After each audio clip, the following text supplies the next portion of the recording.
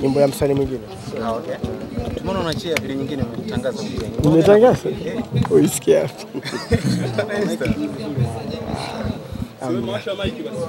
vipi? lakini? Yeah, safi. Uh, leo tuko kwenye tukio la Rich Mavoko of course na listen party album yake na wewe ni mmoja wa watu ambao umealikwa kwenda umeonja onja kusikiliza huko nyumbani na nini.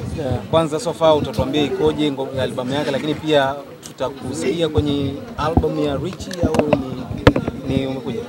Um, sijachelewa kumbe. Yeah, bado bado. Ah, kwa hivyo nyimbo nimeweza kusikiza baadhi ya nyimbo chache wakati anafanya recording.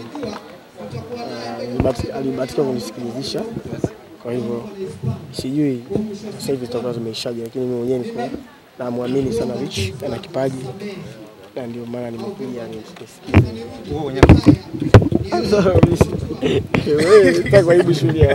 Wewe usikilize ngoma, si umeitwa?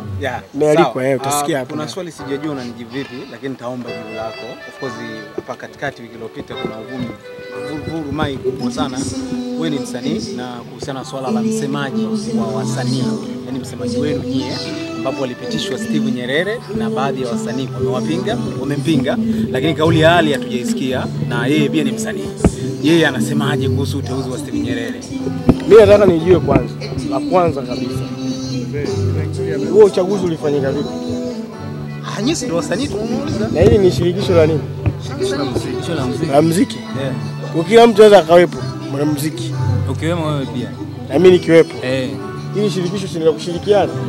It means kwamba ni shirikisho shiri- ushirikiano. Yes. Mbona mimi sijashirikishwa? Mimi sijui taarifa yoyote. Na uchaguzi ulifanyika vipi? Lakini pia baadhi ya watu wanasema. Hebu swali langu, uchaguzi uchaguzi ulifanyika vipi? waliteua Wow, kwao ni uteuzi. Kwa hivyo hata msemaji pia aliteuliwa. Sasa shida iko wapi?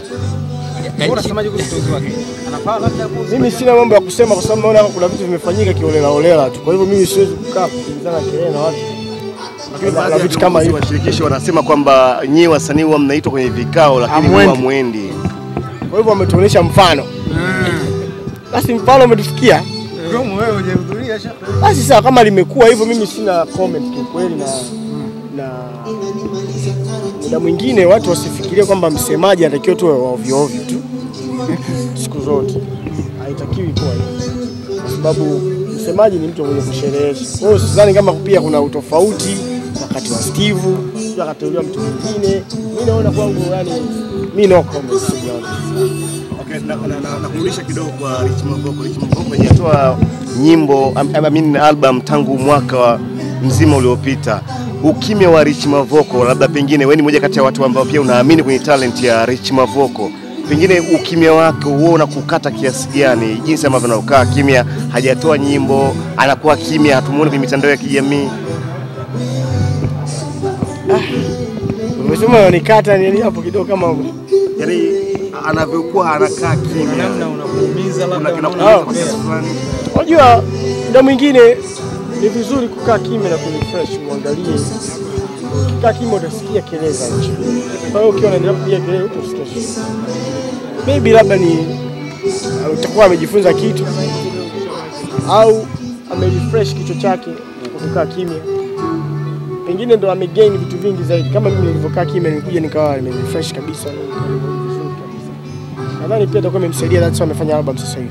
Okay, sawa. so, Ali, hapa hapa hivi karibuni kulitokea vuguvugu la kati yako wewe na mkeo, na ilisemekana kwamba mke wako alienda mahakamani, na kuna story behind zinasemekana kwamba mmesameheana na mkeo. So far yuko kule Kenya. Eh, alikuwa na watoto kidogo, mambo yameisha, swala la talaka na mna energy sana kusikia mambo ya ndoa. Ya wausi. Sawa bana, Ali- Alikiba, Alikiba juzi, Alikiba, Alikiba, Personal ni mke wangu. sawa, Alikiba, Wewe mke wako. sawa, Nisikie umekuja swala mke wako. hapana. Eh bana